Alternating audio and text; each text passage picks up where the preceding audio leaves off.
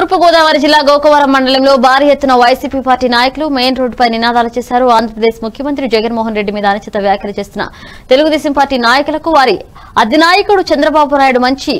బుద్ధులు ప్రసాదించాలని మహాత్మా గాంధీ గారికి వినతి పత్రం సమర్పించి నిరసన తెలిపారు గోకవరం మండల వైసీపీ నాయకులు. అధికార ప్రతినిధి పట్టాభిని వెంటనే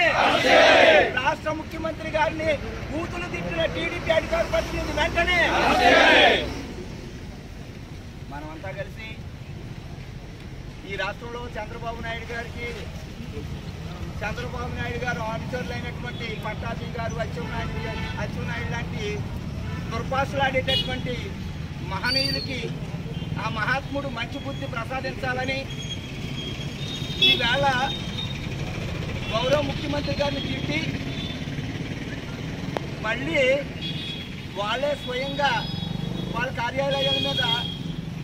దాడులు చేసుకున్నట్టుగా మనం చేసినట్టు భావించి ప్రజల్లో అబద్ధాన్ని సృష్టించి ఈ కరువు కాలంలో ఒక పూట తిండింటే ఒక పూట తిండి లేని టైంలో వ్యాపార సంస్థలను దెబ్బతీసేలాగా వ్యాపారస్తులను దెబ్బతీసేలాగా